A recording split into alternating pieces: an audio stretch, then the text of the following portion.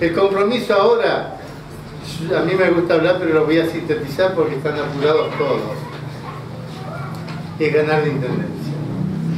Nosotros tenemos que ganar la intendencia, necesitamos hermanar la ciudad con la provincia.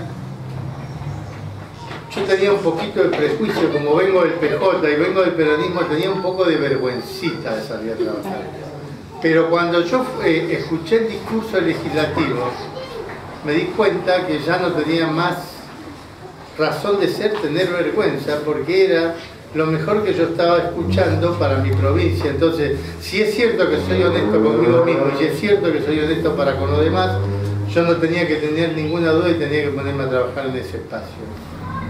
Brunilda es, va a ser nuestra jefa, la que conduce, es la responsable del, digamos, del corazón de esto, porque es, eh, es la candidata del partido.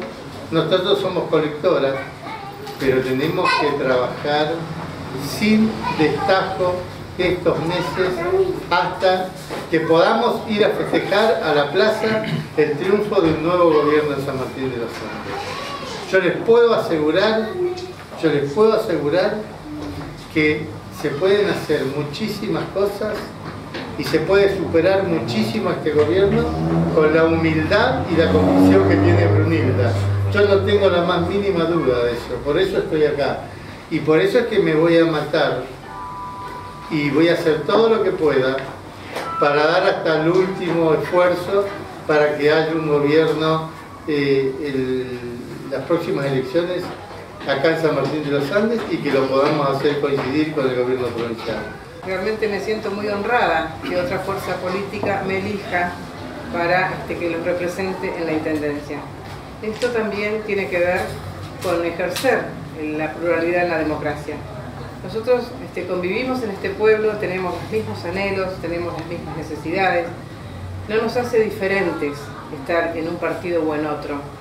Sí, eh, cada uno tiene una convicción por qué está en, tal o cual partido, pero entendemos que en el ejercicio de la democracia todas las opiniones valen y un, un consejo deliberante que esté conformado por varias fuerzas es muy rico.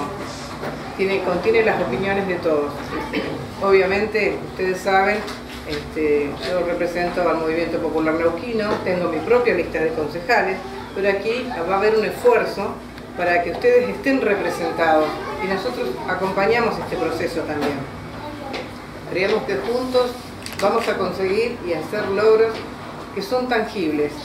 Las necesidades que hoy presenta San Martín de los Andes son, son este, tareas que podemos resolver entre todos. Y además tenemos que estar atentos a esto que ha, sido como una constante en nuestra campaña anterior, el poner oídos. A veces eh, hay problemas en la sociedad que no los podemos resolver inmediatamente, pero ya sea una organización, una familia, una persona necesita que los escuchen. Y esto es lo que queremos hacer entre todos. Seguramente habrán propuestas particulares, pero qué bueno poder trabajar un grupo heterogéneo con, este, un mismo sentido, ¿no? con un mismo objetivo y es que San Martín sea una, ciudad saludable, que cuidemos nuestro medio ambiente, que estemos un poco mejor, que vivamos este, este eje económico, la matriz económica nuestra que es el turismo, que lo vivamos todos, que los barrios estén tan limpios como el centro, como deben estar, eh, que la gente sienta que para el turismo colaboramos todos, pero que también hay una devolución para todos. La construcción empieza a partir del 10 de diciembre, seguramente con las ganas que traemos cada uno, con nuestros proyectos, con nuestras inquietudes, con una mochila cargada de cosas que nos fue diciendo la gente. Por eso siempre pienso que el mejor título nos lo da la calle, que son los que nos marcan el camino. Si estamos atentos a esto, seguramente no nos vamos a equivocar. Hay cosas que pueden salir exitosas, un poco mejor, no tanto, pero no nos vamos a equivocar si estamos atentos a lo que la comunidad quiere.